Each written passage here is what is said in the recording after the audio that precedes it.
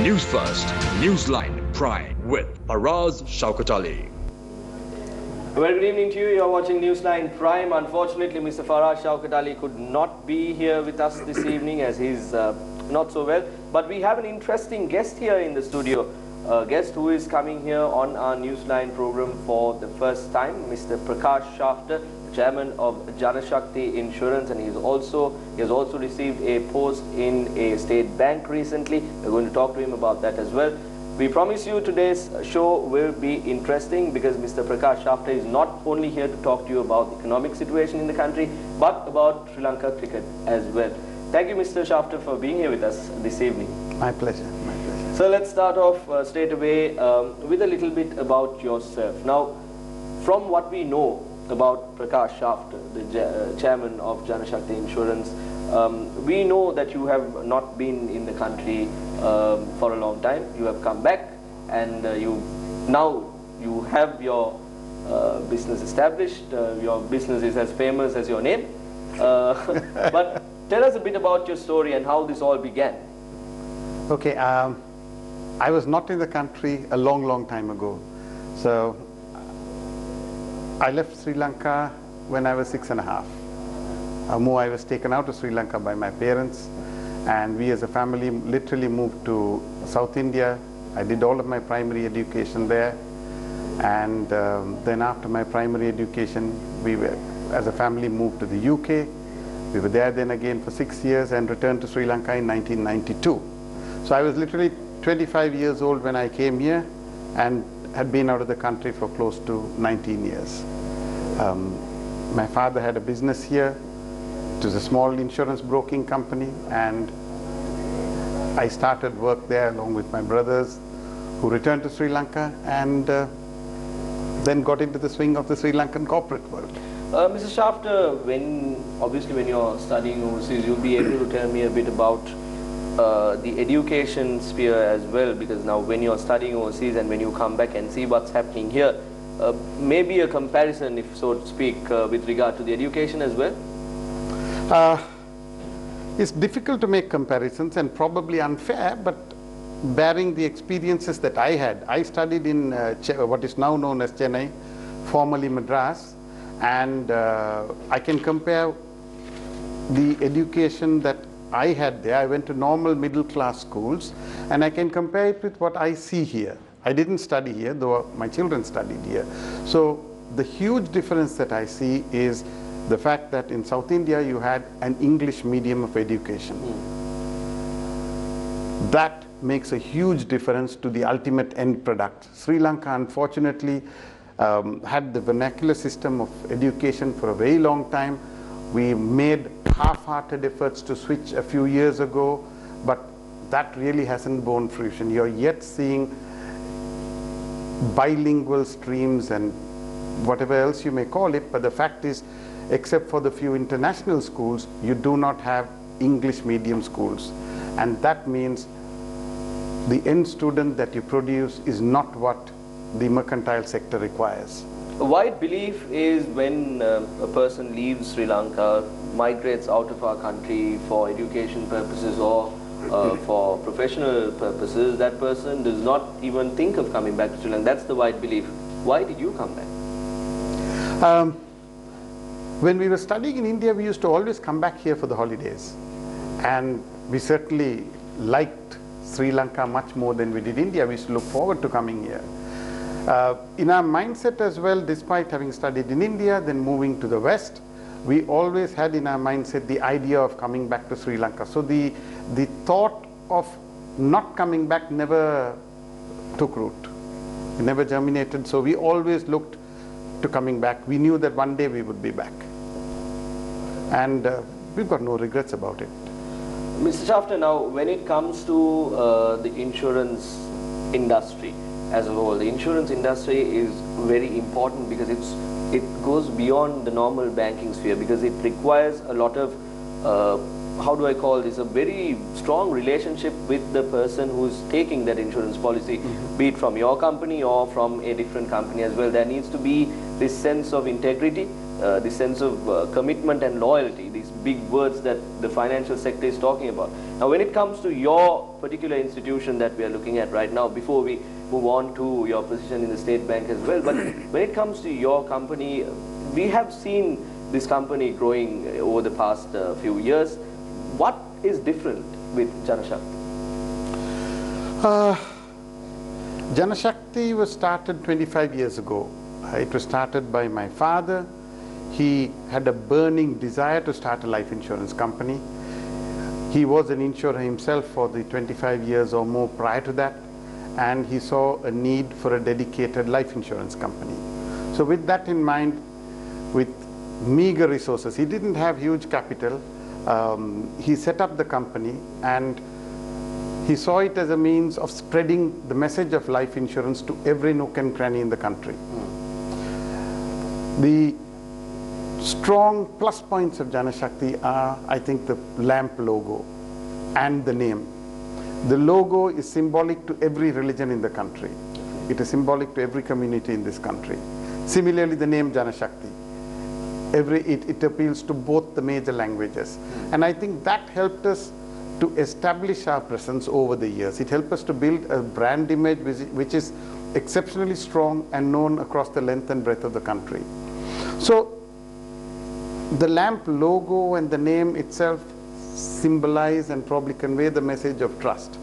And that combined with our commitment, I mean, as a family, as a business entity, as a leadership team, we were always committed to this. Um, we wanted to be financially strong and convey the message that here is a company that you can rely upon, that you can trust, that will be fair by its customers come the crunch time when there is a payment of a claim due.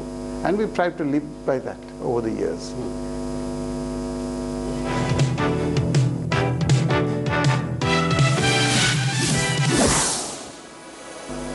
We are cutting into a breaking news telecast. The expenditure head of the Ministry of Megapolis and Western Development was defeated in Parliament a short while ago with 38 MPs voting against and only 24 MPs voting in favour. Earlier in the evening, the expenditure head of the Ministry of Internal and Home Affairs, Provincial Councils and Local Government was also defeated with 38 MPs voting against and only 20 MPs voting in favour. Taking a look at that once again, the expenditure head of the Ministry of Megapolis and Western Development was defeated in Parliament a short while ago with 30 MP, 38 rather MPs voting against and only 24 MPs voting in favour.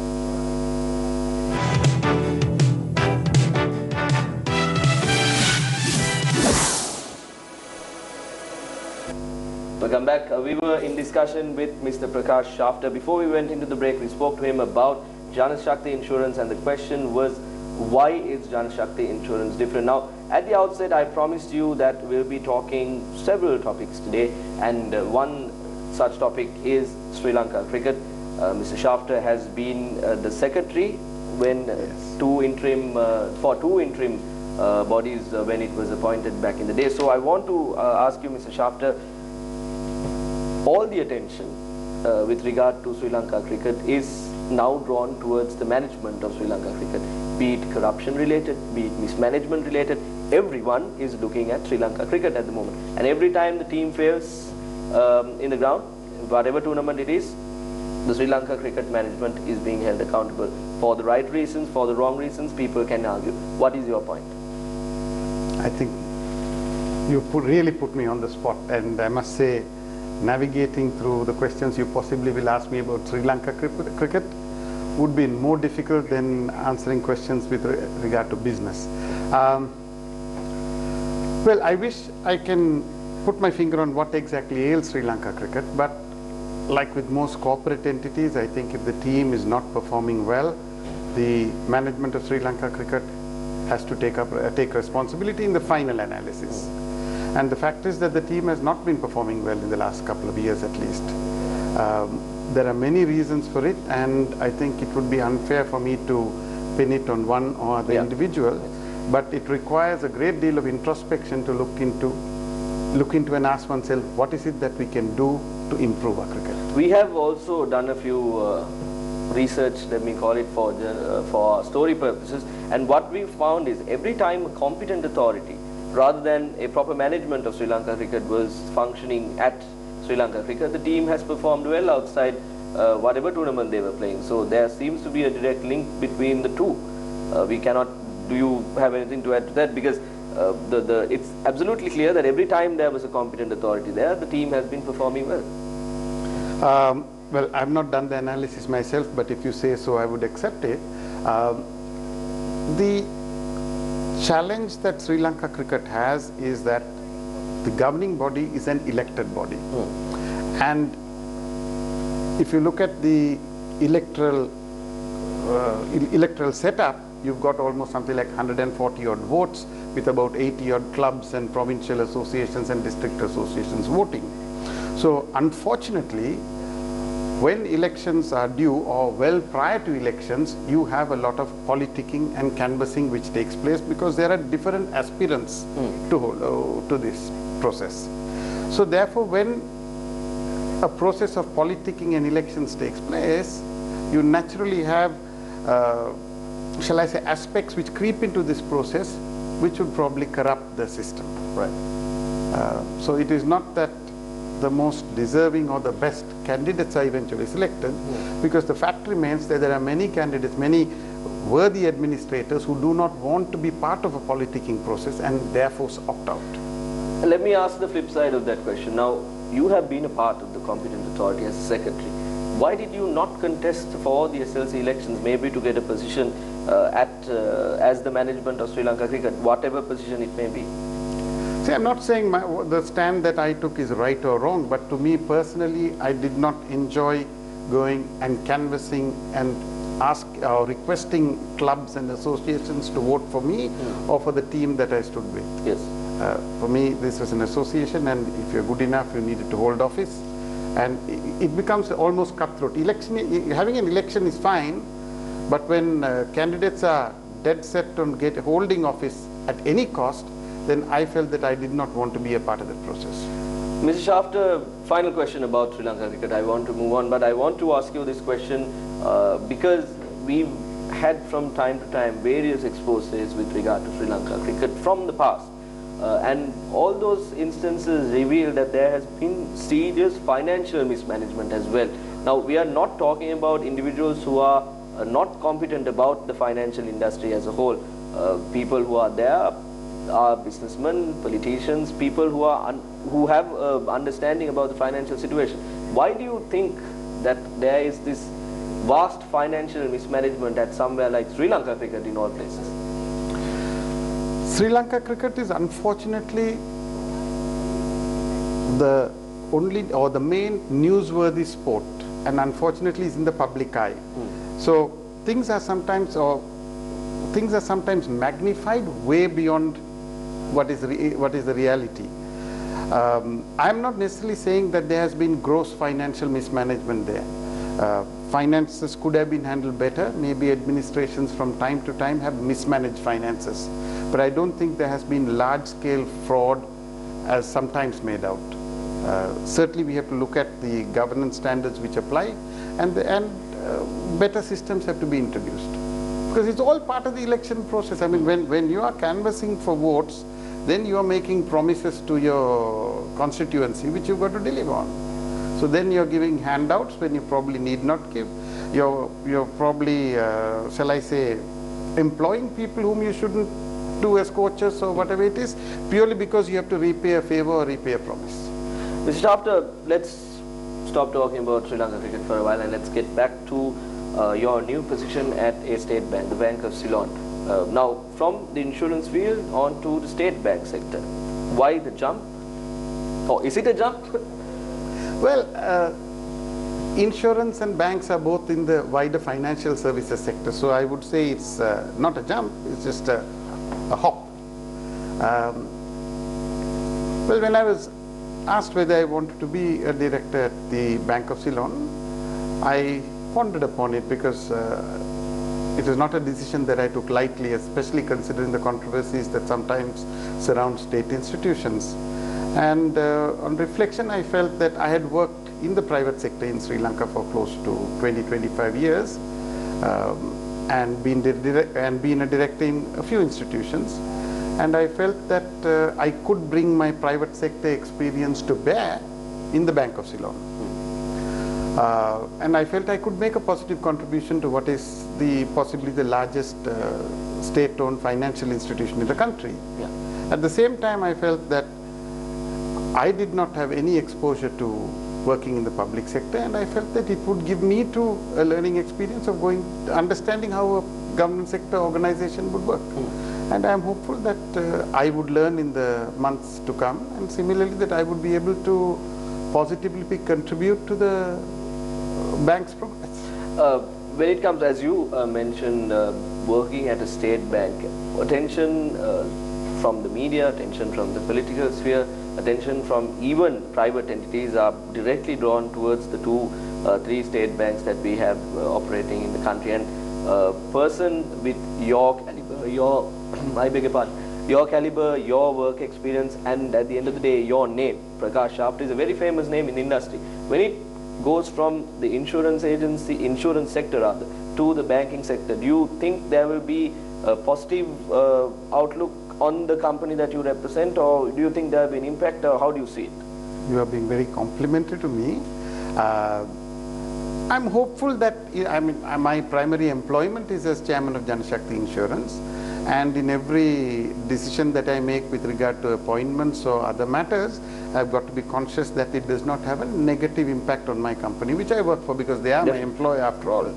And I think that in by my being associated with the Bank of Ceylon, I'm, I'm, I'm reasonably certain there is a positive impact, provided there is no scandal which I have to get embroiled in, and I'm certainly hopeful that that won't happen.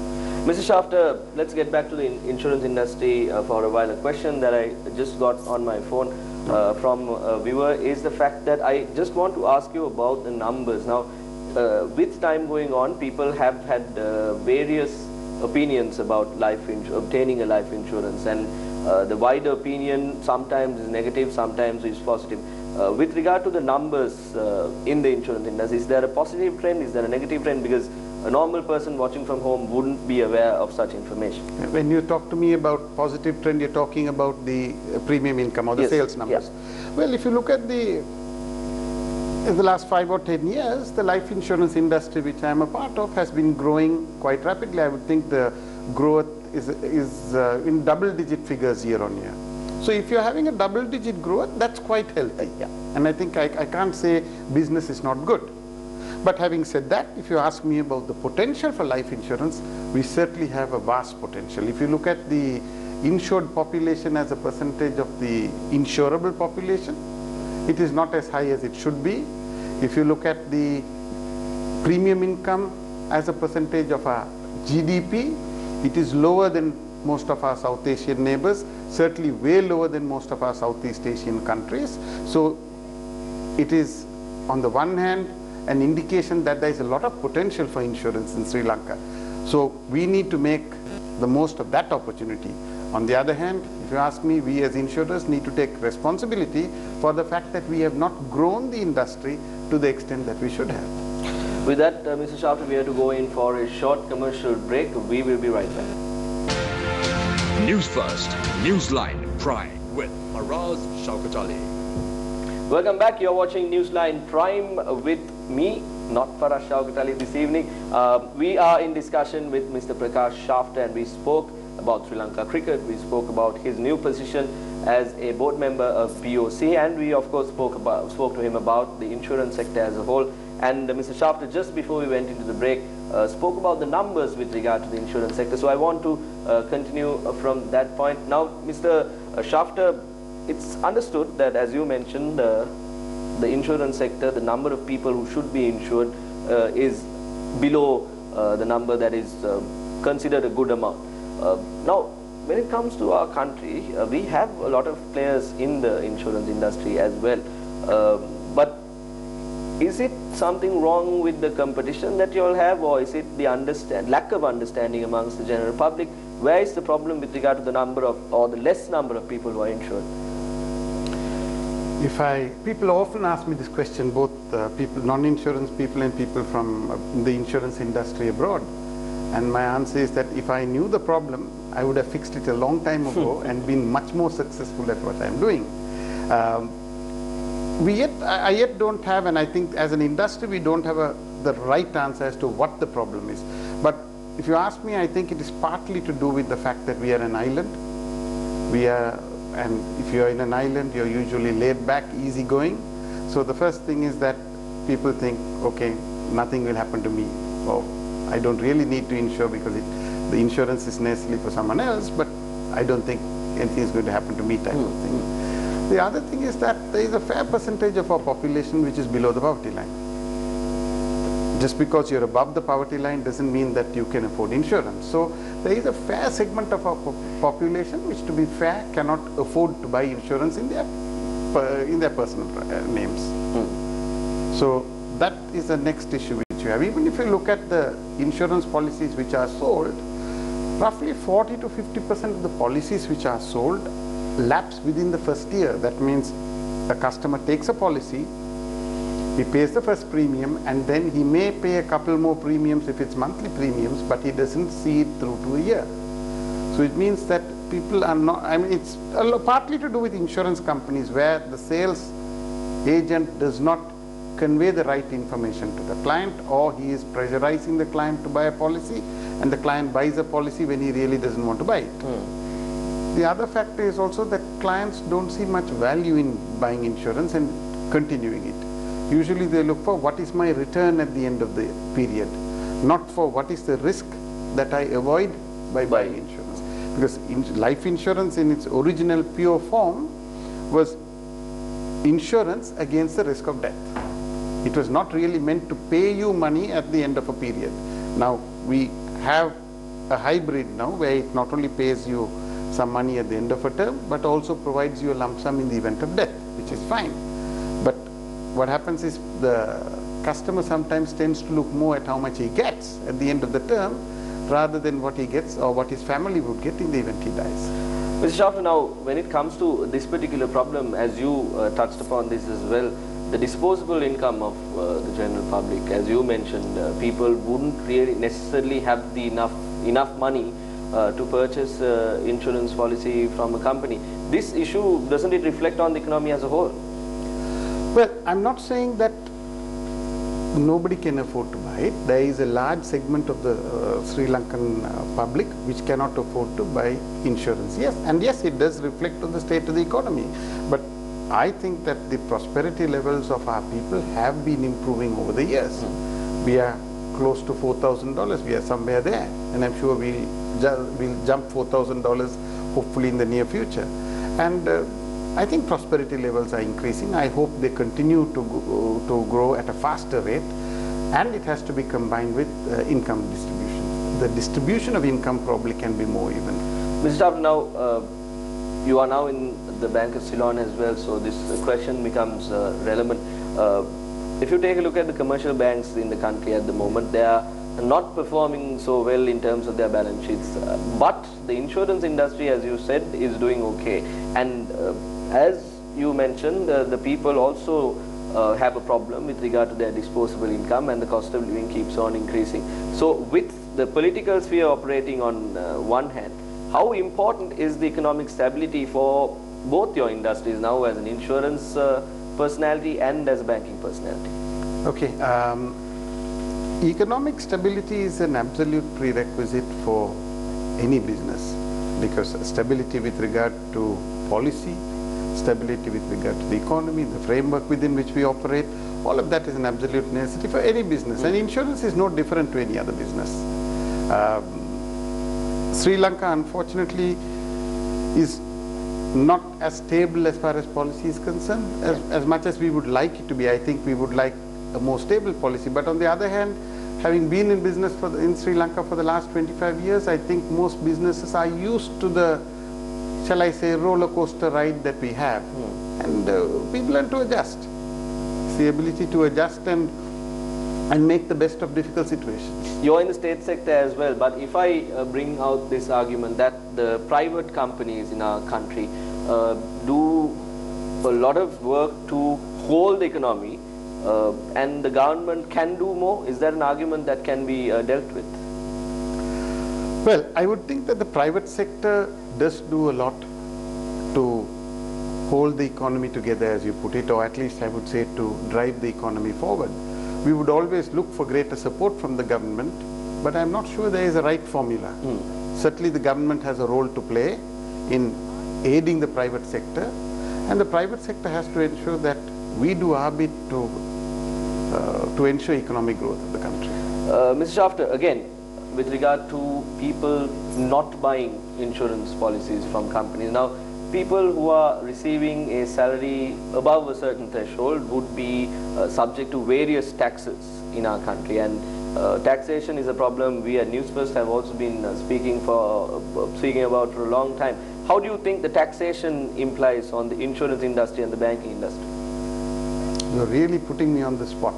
Uh, taxes, I think, are something that nobody would really want to pay and like to pay, but I think it's, it's something which we, are, which we have to pay. Uh, the state has certain expenses, uh, they have to be funded. We have obligations by the less fortunate in society, and that has to be funded from corporates and from individuals who are well to do. At a personal level, I've got absolutely no problem with that. Where I do have an issue is the way that is spent. Absolutely. Uh, I would like to see far greater efficiency in how the money that is collected from taxpayers is spent. If the private sector efficiency can be introduced into that spending, I think you would get far more value for the money that we pay as taxes, and I think people will resent paying taxes far less.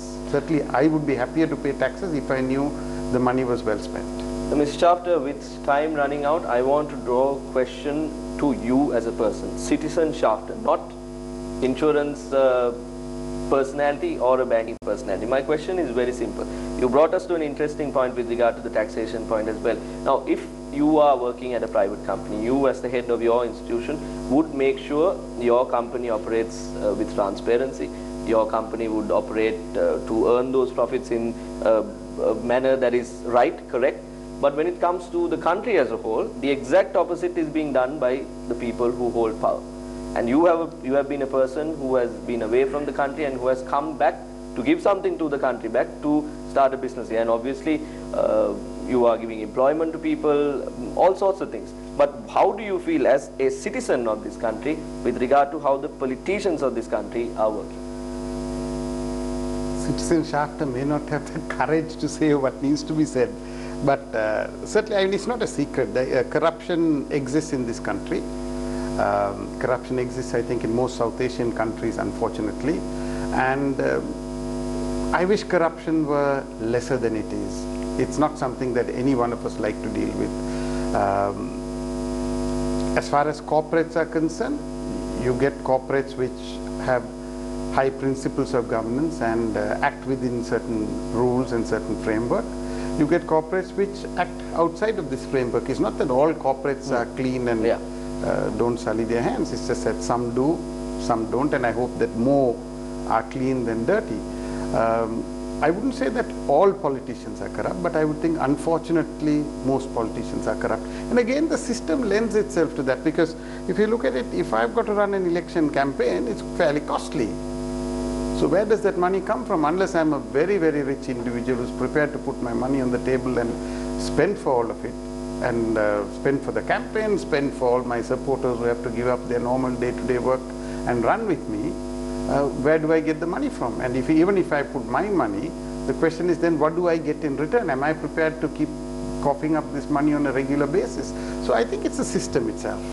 We've really got to look at the political system, the electoral system and see how you can tinker with that.